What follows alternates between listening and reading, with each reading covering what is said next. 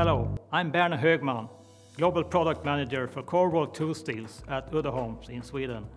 What do you think is needed if you want to stamp and form ultra-high strength steels? That means materials maybe from 1200 megapascal and higher.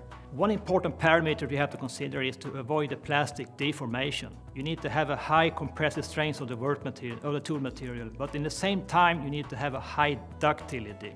Also, you need to look at the edge radius. If you want to do trimming in ultra high strength steels, you need to have a higher or a bigger edge radius. Another important parameters are to deal with the high cyclic load. When you're doing a long run production uh, in, in high, ultra high strength steels, you have a very high cyclic load and you need to have a good fatigue resistance in the tool steels. That means clean uniform microstructure of the tool steel, uh, high ductility, high fatigue resistance.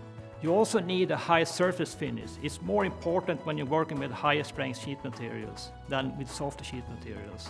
Altogether with this, combined with a good heat treatment and process parameters as cutting clearances, uh, then you will have a good result when you process those materials. Thank you for watching.